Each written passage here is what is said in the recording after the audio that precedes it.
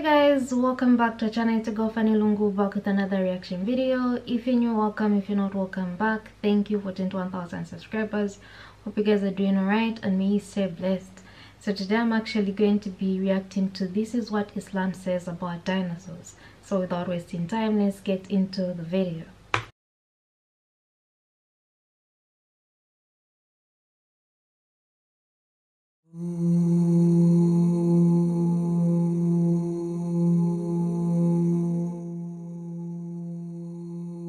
So the question always comes, especially for people that believe in creation and things of that sort, what about the dinosaurs that were here before human beings? Do we even believe in dinosaurs? What about the disgusting little creatures and critters? Why did Allah subhanahu wa ta'ala create them? And what, or what do we have to say about them? First of all, the most beneficial aspect when you're speaking about the creation of the animals is that which relates to us. And what that means is, Ibn al-Qayyim rahimahullah ta'ala said, Allah created us as human beings between the angels and the animals. And so you have angels that have absolutely no desire, no will. Their sole purpose is to worship Allah subhanahu wa ta'ala. Their sole uh, existence is just to worship Allah subhanahu wa ta'ala. And so they're free from those desires. And then you have on the other side the animals, on the on the far end of the other spectrum, the animals who don't have those uh, you know, you know, who don't have reasoning and don't worship Allah subhanahu wa ta'ala the way that the angels do, and they're just full of desires, unrestricted desires. And Ibn al-Qayyim rahimahullah said, we find ourselves in between. And what that means is if we incline towards our desires more, our unrestricted desires more, then we become like animals. And if we incline towards worship and reason, then we become like the angels. And in fact, as human beings, we have the potential to be better than the angels, as we'll talk about uh, when we choose to worship Allah subhanahu wa ta'ala and when we choose to use our reason and our intellect in a way that pleases Allah subhanahu wa ta'ala. And we have the potential to be worse than animals because the animals are not held accountable because of the, the, the uh, missing reasoning and things of that sort. And so it's important for us to find ourselves in that spectrum. Where do we fall? Do we fall towards the soul that is at peace, the nafs that is at peace, the nafs al-mutma'inna, or a nafs al-bahima, the animal-like self, which is just territorial, uh, desires intimacy and food and drink and so on and so forth. Now, when we talk about the, uh, you know, the chronological order of creation, Islam actually does clearly say that animals were created before human beings. Uh, this is established in authentic hadith that the Prophet ﷺ said that Adam alayhi salam was the last of Allah subhanahu wa ta'ala's creation. And we'll talk about that inshallah ta'ala uh, going forward. And in that is a sign that Allah subhanahu wa ta'ala has provided everything, has placed everything at our service. That when we come into existence as human beings, Allah subhanahu wa ta'ala has already created uh, the scene, it's already there. Uh, Allah Azza wa also says in the Quran, in Surah Luqman, Allah subhanahu wa ta'ala says, خَلَقَ السَّمَاوَاتِ بِغَيْرِ عَمَدٍ تَرَوْنَهَا وَأَلْقَى فِي الْأَرْضِ رَوَاسِيَ أَن تَمِيدَ بِكُمْ وَبَثَّ فِيهَا مِن كُلِّ دَابَةٍ Allah subhanahu wa ta'ala said that He created the skies, the heavens without pillars that you see. And He's cast into this earth firmly set mountains so that it keeps it stable and He spread throughout this earth all types of creatures. Okay, so Allah subhanahu wa ta'ala actually makes that clear in the Quran as well. Dabba means beasts, means any type of creature that you can imagine. And so we know that before we got to this earth, there were, you know, all kinds of dinosaurs, beasts, and that's one of the crimes of the jinn, is that they didn't treat them well, as we spoke about previously. And you had roaches as well, and, and some of those disgusting little critters that existed. Actually, even before the dinosaurs. Uh, you know, scientifically, they think that roaches existed millions of years before the dinosaurs. And so you ask yourself, why? All right, so if we establish that Allah subhanahu wa ta'ala put them there before us and that there's benefit to them, why, you know, why do we have roaches? Why do we have rats? Why do we have all these disgusting little creatures? And, and you know, uh, subhanAllah, when it comes to roaches, I grew up with roaches. I had roaches all over the place growing up. I remember there were times that I wouldn't actually go to the kitchen because I knew that there were going to be roaches there after 10 o'clock. that was their time and they took over. So, especially with roaches, I guess this was a theological crisis for me. You know, why are there roaches in the world? Now, the simple answer to that is that Allah made all of these animals as a form of rizq for you, as a form of sustenance for you. And He made them a form of sustenance for each other and he made the insects sustenance for them. Okay, so you find that when a bird is alive, and subhanAllah, things change, circumstances change. When a bird is alive, it feasts on ants, it eats ants. When the bird dies, the ants eat the bird. Right? So these these animals and these creatures are are, are, are sustenance for one another, they're rizq for one another, and Allah subhanahu wa ta'ala has it in perfect balance. And there are things that are even beyond our understanding. So when it comes to the roaches, you know, their most powerful role in the ecosystem, of course, is decomposing. And we don't really see that, but they pick up dirt. There would be a lot more dirt in the world without them. They eat rotten foods and they eat decaying material. And through their waste, it's put back into the soil and it's made beneficial and, and, and bacteria is cleared and so on and so forth. Meaning, subhanAllah, that even those things that to us are simple, you know, are nuisances, there is a purpose. They play a greater role in this balance that Allah subhanahu wa ta'ala has created. Al-Mizan, you know, the, the, way that He's made everything just and balanced in His creation. There is a role for everything. Allah subhanahu wa ta'ala didn't create a single insect, a single animal without purpose. And subhanAllah, we find that the animals uh, actually see things that we are incapable of seeing. And, and we spoke about this when we talked about the limitations of human beings and things of that sort.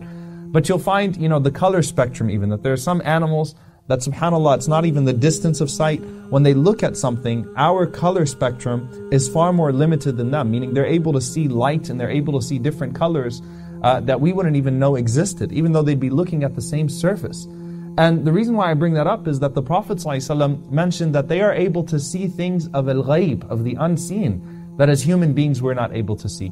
And the Prophet ﷺ gives us something beneficial in that regard. He says ﷺ, that when you hear the crowing of the rooster. فَاسْأَلُ اللَّهَ مِن فَضْلِهِ فَإِنَّهَا رَأَتْ مَلَكَ When you see the crowing of a rooster, ask Allah subhanahu wa ta'ala for His blessings because that rooster has seen an angel.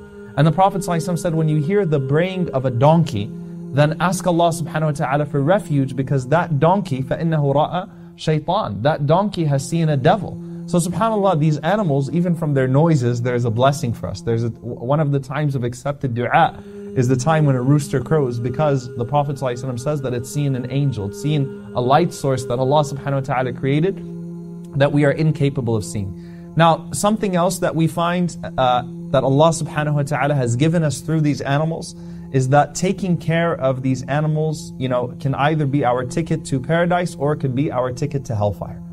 And this is something very powerful because the Prophet ﷺ mentioned to us the woman that was actually a prostitute, uh, a and she came across a dog that was thirsty and she felt compassion for that dog and so she took her shoe and she filled it with water and she gave water to that dog and subhanallah I often ask myself you know if the Prophet ﷺ said that Jannah was given to that woman for the sake of that that she was forgiven for her sins and Jannah was given to her on the basis of that, what would most religious people do? They'd say, you know, if a dog came by, this is najas and that, you know, this is impure, they try to kick it out the way and so on and so forth.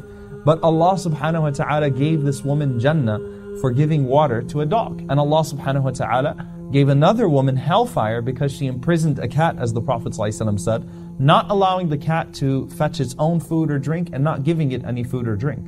And so these are sources of rahmah for us. They're sources of mercy. They could be our ticket to paradise. And as a believer, I should look at it in an optimistic sense. And I shouldn't think to myself at any moment that there are many human beings that are dying today. Why should I even be worried about the animals? Because the Prophet ﷺ was concerned about the birds. Even on the way back from a battle, Rasulullah ﷺ heard the complaint of a bird whose egg was taken from its nest. So the Prophet ﷺ actually stops the companions and shows compassion to those birds. So there's no point in life where we should stop caring about the animals, where it becomes an either or thing. Islam teaches us that, you know, the earth will testify for us or against us. What about the animals?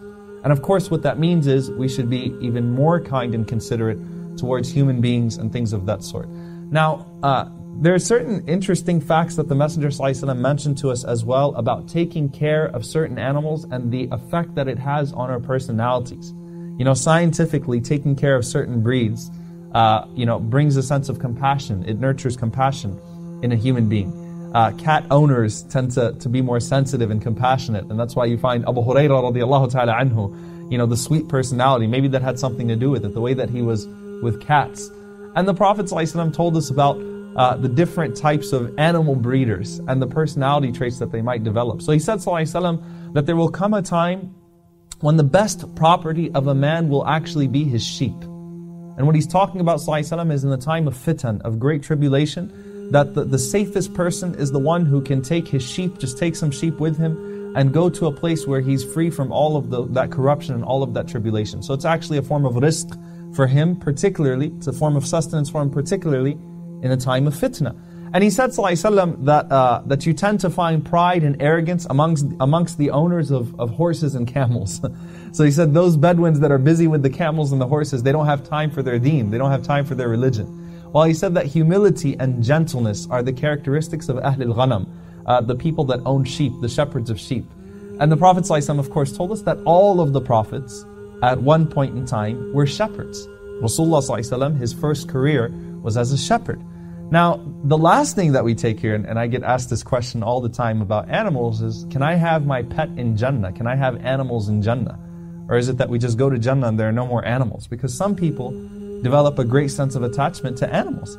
Now, obviously, they are free from, you know, uh, from accountability, you know, eternal accountability. So they don't have Jannah and Nar, paradise and hellfire, in that sense. However, Abu Ayyub al-Ansari radiallahu anhu, he narrates that a Bedouin came to the Messenger sallallahu and he said, Ya Rasulullah, O Messenger of Allah, I love horses. Will I get to have horses in Jannah? I love horses. Do I get horses in Jannah? And the Prophet said, If you are admitted into Jannah, utita bi farasin min yaquta. You'll be given a horse of rubies. and that horse would be brought to you with two wings and it will carry you wherever you want it to carry you. So yes, you can have animals in Jannah as well if you love them that much. And we ask Allah subhanahu wa ta'ala to enter us into Jannah to be able to have those animals. Allahumma ameen.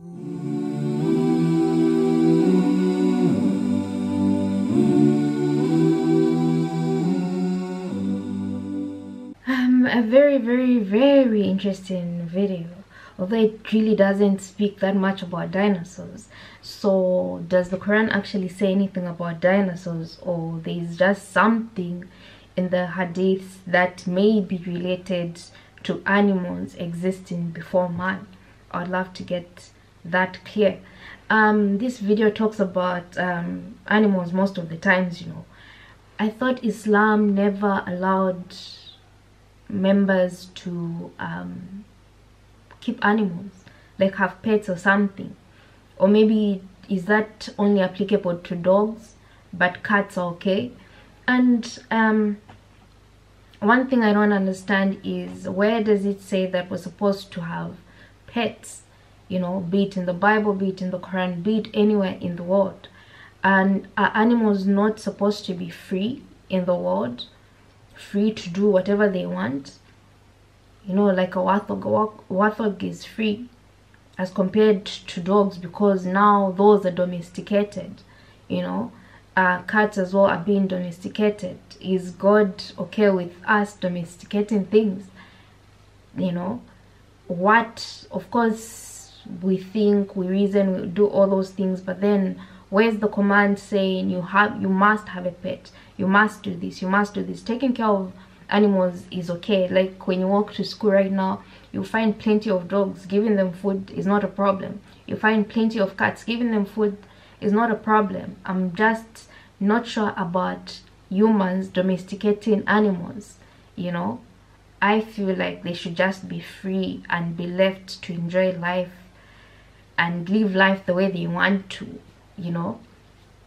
Um, I really wish this was more about dinosaurs because that would really really mean a lot to find out that of course dinosaurs existed.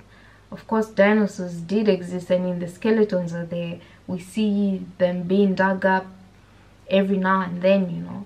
So so yeah let me know what you guys think. If there's anything you have to say let me know down below. If you want me to react to something just give me the name or the link in the comment section below and I'll be sure to check it out. Make sure to give this video a thumbs up, share it with your friends and of course do not forget to subscribe and I'll see you in my next reaction video.